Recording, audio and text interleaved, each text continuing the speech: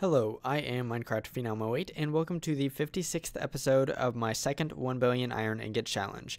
In today's episode, I plan to automate the Orechid from the mod Botania. And as we see here, I have quite a bit of stuff done with Botania, but I'm actually going to set this Orechid uh, up over here. Uh, and I think the first thing I'm going to do is I'm actually just going to place down the Orechid. So I think uh, right here would be a good location for it. Uh, the next step is I need to get it lots and lots of mana. So if I take my Wand of the Forest, it shows that it does not have a mana pool connected to it. So I need to go ahead and do that now. So let's get a mana pool and uh, let's actually set up the mana pool uh, on this side of the Orechid. Um, I'm not sure how close it has to be to be honest. So let's do that and let's see if that Okay, cool. So that looks like it is functional.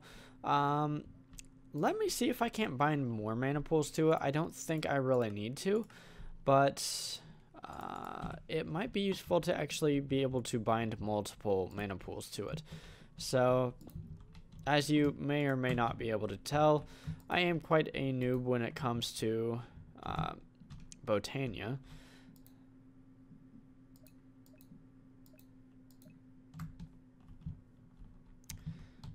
So I'm just to keep clicking here. Okay, so I may or may not have that flower or the Orechid bound to all three of the mana pools. I may have it just bound to this one over here. But I will find out when I place down some of my, uh, sorry about that, Endoflames. So I do have a bunch of endoflames made up. And I also want to go ahead and grab some uh, some mana spreaders, and I don't know how many I'm going to need. Let's just grab 10 for right now, and then I'm also going to grab some more mana pools. Actually, I'm not super sure that I need to do that. You know what, just to be safe, I am going to grab more of these. I have plenty of livingrock and livingwood, so it's not a big problem to make more than I actually need. So the first thing I need to do is I need to figure out where I want to put my endoflames, and that's kind of uh, where I need to begin here. So uh, for right now, I'm going to assume that I can pull mana out of all three of these mana pools. I'm not sure if that's going to be the case, but I'm going to make that assumption right now, even though it may be a little bit dangerous to do that. So let's set up some uh, mana spreaders. And I'm going to do uh, three of them for each mana pool. I this this may or may not be able to make enough mana. I'm not super sure to be honest. So let's go ahead and put down a bunch of these endoflames. Uh, 12 for each of these setups. And I put that in the wrong spot. Cannot go there.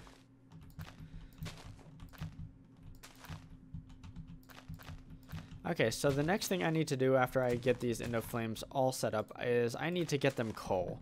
And I'm actually going to use a system that will be uh, pretty much identical to this system right here, in which I have a system underneath with uh, a redstone timer and automatic precision droppers. So let's grab some automatic precision droppers. Uh, and I should need, what, nine of these, I believe? So I have one and I need to go ahead and make nine more or eight more sorry. So let's grab those. I will also need a redstone torch.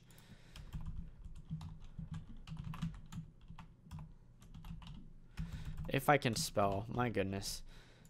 And I just simply need one of these so that I can change the mode of the droppers. So each of these droppers will be uh, let's say right here. And I need to place all nine of these down first. Actually, shoot. Um, I have that flower in the wrong spot. And I already see a slight issue with how I patterned these. Um, I'm, I think I'm going to move this mana pool back one. Uh, and the three mana spreaders around it as well, I'm going to move them to the left now one block. So I'm going to do this off camera, and once I have that done, I will be right back. Okay, I'm back, and I decided to also go ahead and set up all of the rest of the automatic precision droppers. So basically, uh, this system is just basically the system I have over here replicated times 3. Uh, the next thing I need to do is I need to hook up the red, actually, um, I do need to hook up the redstone, but the next thing I want to do is change all of the automatic precision droppers to pulse mode.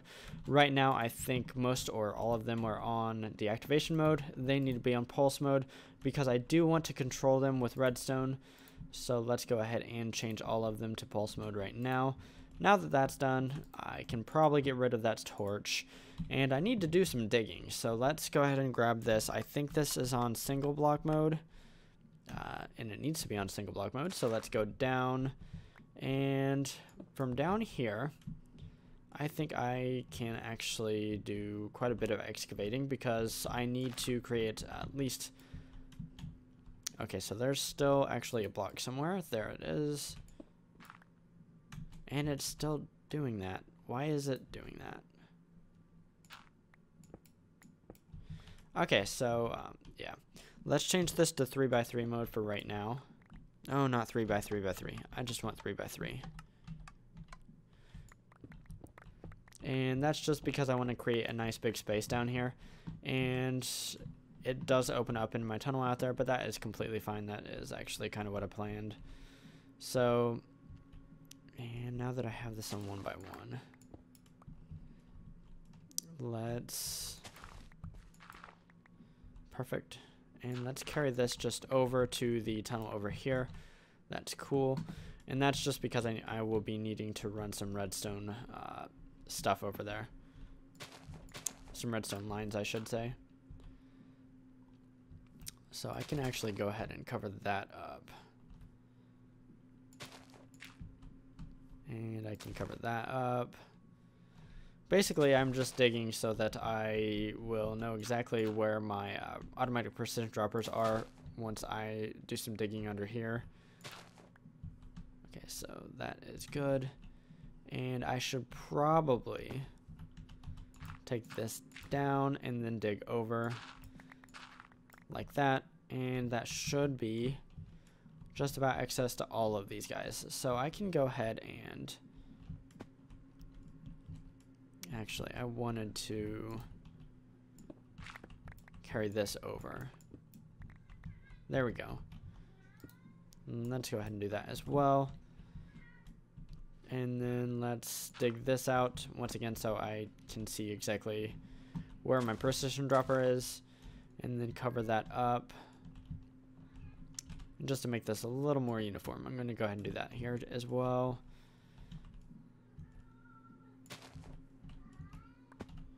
Okay, so grass block goes there. Okay, so let me make sure that I actually have access to all of these guys. Uh, other than... Okay, I think I do. I should probably just like square this out so that I can actually...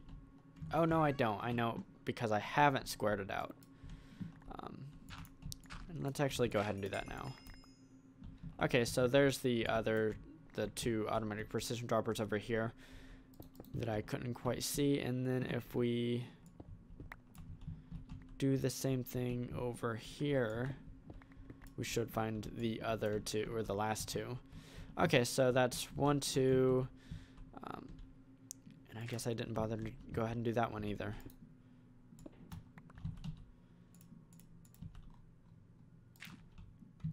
I'm trying to make this as neat as I can. Okay, so I have this one more over, so let's do one more, not two more. Whoops. Oh well. Okay, so let's lay down some torches because obviously this is a little bit dark. We don't want monsters in here. Also, I do want to cover this back up. I don't have stone with me. You know what? Uh, let's just go ahead and grab some stone. I don't think we'll need much more of that, so just some stone here. And actually, I can cover this up from here and here. Yeah, let's just build it out to here. I was gonna say, where is actually shoot? I'm not so sure I should have done that because I think there's one that I don't. One, yep. Because this precision dropper right here will need access.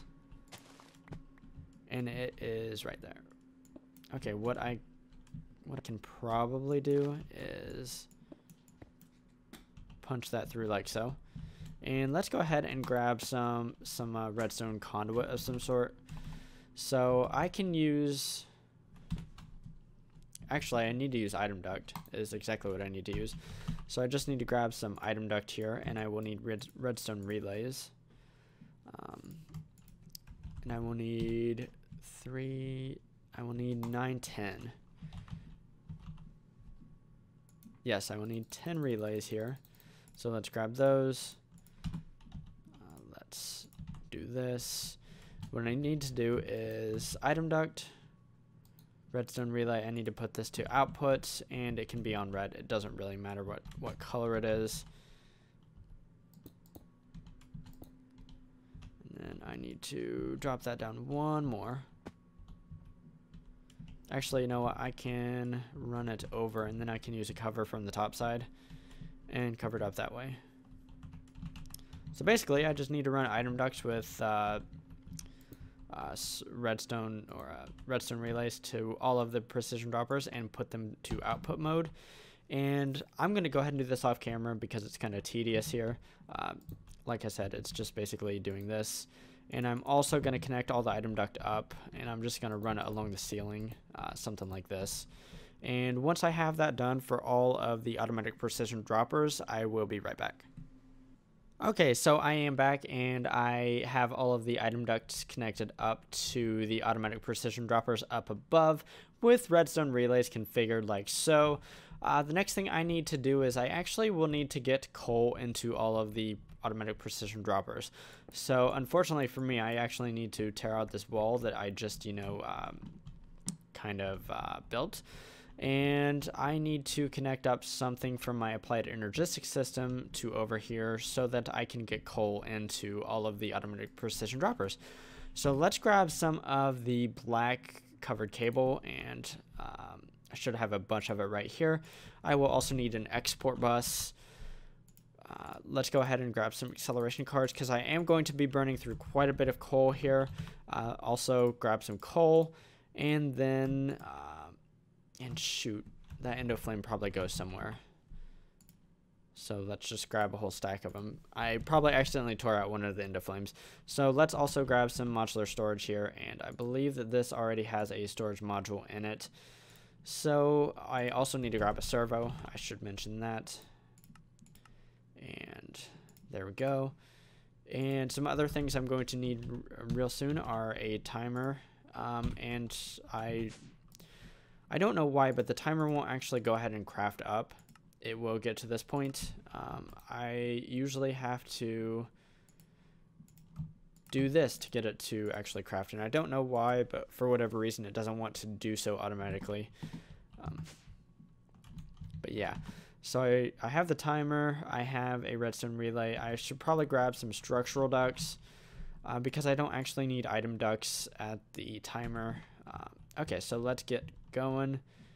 Um, let's go ahead and build off of it right here.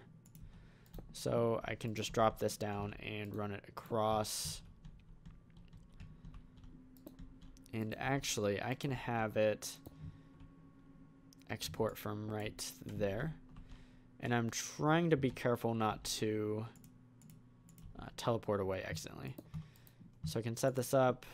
Acceleration cards, coal with uh, modular storage right here. And then I can just simply put the servo right here and it can be ignored redstone signal. And then I think that should be good for the um, for the coal anyways. And it will take a little bit for this to become active but okay so I'm trying to get in here. Get in here. There we go I will need more channels so I should probably grab uh, some facades and then some ME conduit. And actually, you know what? I won't because I can do something else. rather than having some stone being exported to over here. There we go. Okay, so let's cover this up. At some point, that bus will connect up and it will become active. And I'm not going to worry about it for right now. I think what I'm going to do right here is... Actually, let's throw down some more torches down here first. And, okay, so let's hit F7. I do need another torch there. So, let's see here. Um, I want to put in an elevator right here. That way I can actually have this completely closed off. So I'm going to grab a couple elevators right here and place one there and then one right here. That way I can easily get up and down. Uh, I also need to hit F7 here. Okay, so we have the coal, and that should be going out to the automatic precision droppers at some point soon. Uh, let me figure out, did I actually delete one of my endoflames? Yes, I did. It's right here. And actually want to reroute this because I really, I really do want that to be an endoflame. And I can't put an endoflame there. Okay, cool. Looks like that's active now. So I can't put an endoflame on a grass cover. It needs to actually be a grass block. So let me reroute my item duct real fast. So I should be able to simply just do this. And it looks like I accidentally ripped out my servo and my redstone relay, but that shouldn't be a problem. Cool, and we can go ahead and set this to random is what I want to set it to. And then I can just grab a grass block here and put that down and then put an endoflame on top. Cool. That should be fixed. Okay, so I can actually get rid of this facades. Uh, let's go ahead and start the uh, mana. So I actually need to... Okay, so what became active? Why is it... Oh. I don't know why I did that. I apparently did not hit that with the redstone torch. Okay, so there we go. It's on pulse mode now. I, I need to set up the timer. And I'm going to set up the timer to be something like every, let's say, uh, less than a minute. Let's do half a minute. Let's do 600 ticks. Uh, 1200 ticks would be a minute. So let's also hit this. And I can get some structural duct right here. And I need another relay. I don't think I need any more of that. So let's do this input. Uh, I also want to, I want to have a lever here. That way I can turn off the system if I so choose. Cool. So at some point soon, we should start seeing some coal being dropped, and I just I did just see some, so that's good. Uh, the Orechid does appear to be active, and draining mana from this pool right here. I don't think it's draining mana from any of the other pools, so I may need to uh, change something up. So uh, for right now, um, what the Orechid is going to be doing is going to be draining mana from that pool and it will start changing random blocks of stone, which there are blocks of stone all over the place. In I think an 11 by 11 by 7 uh, ra radius, I think, around the flower, uh, they will start randomly turning into ore blocks. So obviously, I can't really automate this quite yet. I think what I'm going to do is I need to get the mana that I'm receiving from these other pools and I think I think what I can go ahead and do is I need to rebind this to this mana pool and let's see yeah it's drained that mana pool real quick so uh, I need to get mana from these other pools to that pool over there and I think if I just get some more mana spreaders and let me grab a few more. I should be able to, to do that. I think... I think I can chain mana spreaders.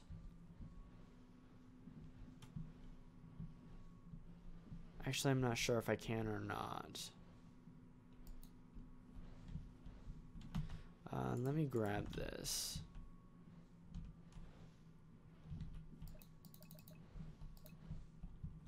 Oh, duh, it's not beside it. That's probably part of the problem there. It's not beside my pool. Okay, so I might need... I'll probably need a few more than the four I have. Let's grab four more. Okay, so this isn't... Wait, is that shooting off to this mana pool over here? That's not what I wanted.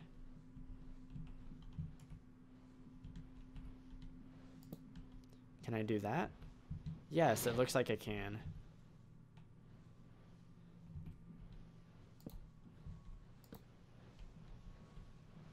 Is that actually going to work? I think that's going to work. So cool. So it looks like I can chain my mana spreaders like that. Uh, the Orechid will be feeding off this mana pool, but the mana can get from these other pools to this pool. So that should be cool.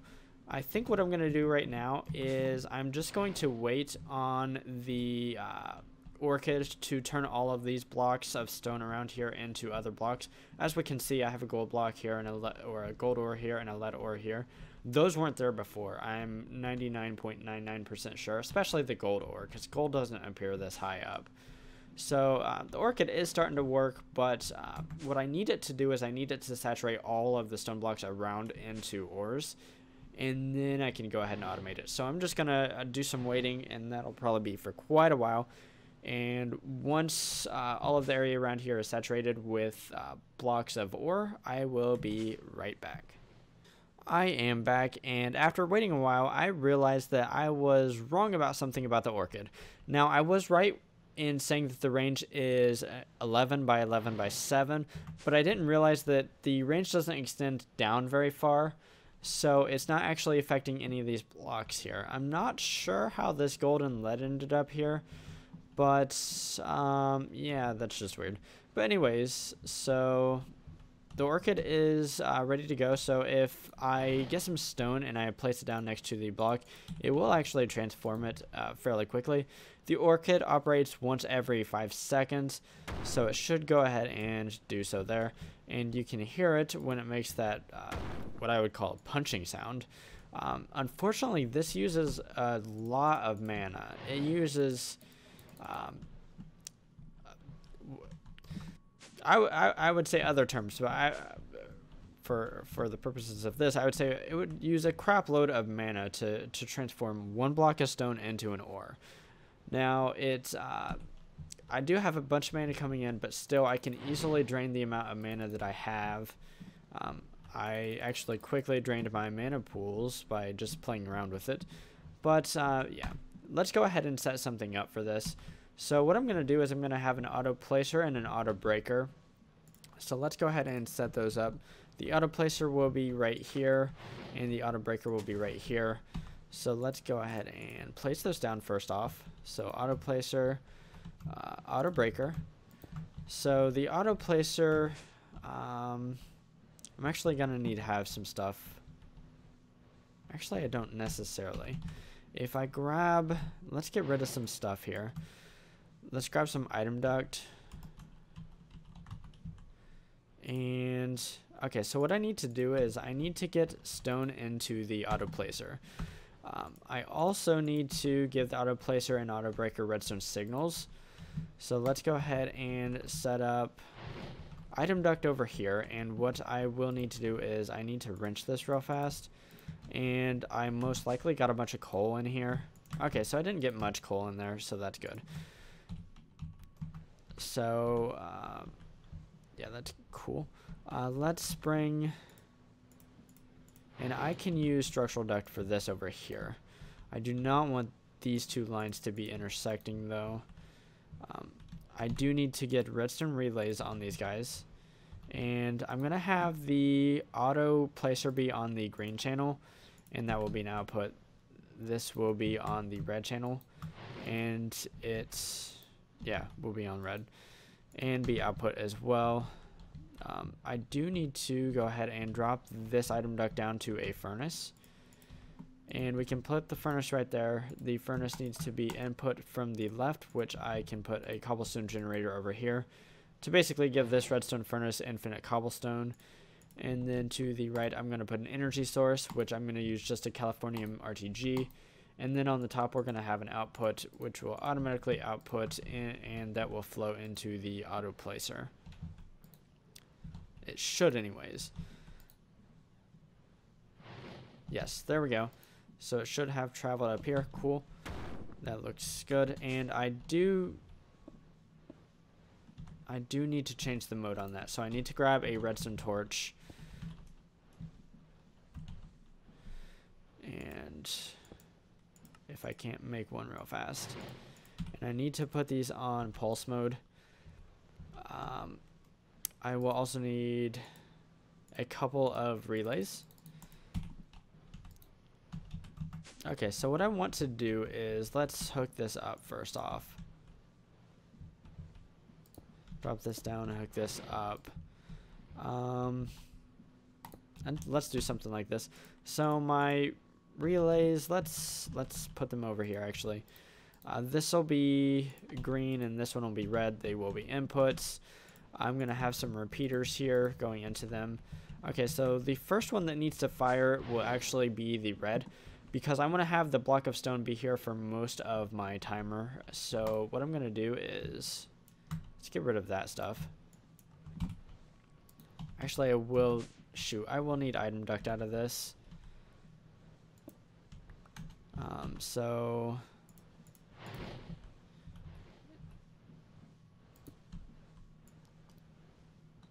And I will need to wrench this real fast. I'm guessing some coal got... Nope, didn't get in there. Cool. And then uh, what I can do is put my relay back and this will once again be output on red. I will need an ender chest because I need somewhere for the items to go after they're broken or put into the breaker. Oh shoot. Um, Okay, so I need to make an ender chest, and I realize I don't have the items for that.